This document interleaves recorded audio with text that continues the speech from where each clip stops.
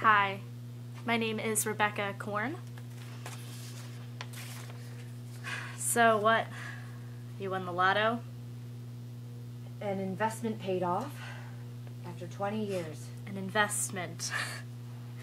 so, which one of the boyfriends left you a fortune? That's cruel, Becca. I just want to know if it was worth it.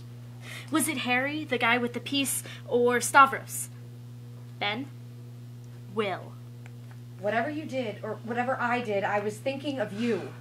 Why are you being like this? I've worked since I was 12. When you were at the ashram, I bought food.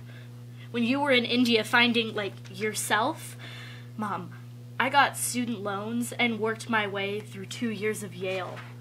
So all your hard spiritual work really paid off. I'm saying I'm sorry, but that's over. I'll I'll give you the money and and you don't have to worry. Yeah, I get it.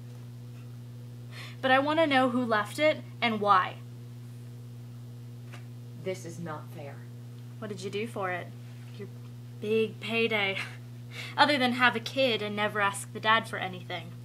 See, Mom, if you're not gonna tell me who my father is, I'm not gonna take his money. It wasn't your father, Becky. Stop looking for Answers?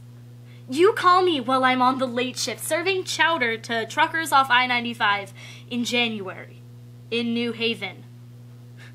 I haven't seen you in two years. That was your choice. No, when you chose to lie to me, you made the choice. I don't need money. No, I I don't need it. I just want to know who I am. Okay? Thank you.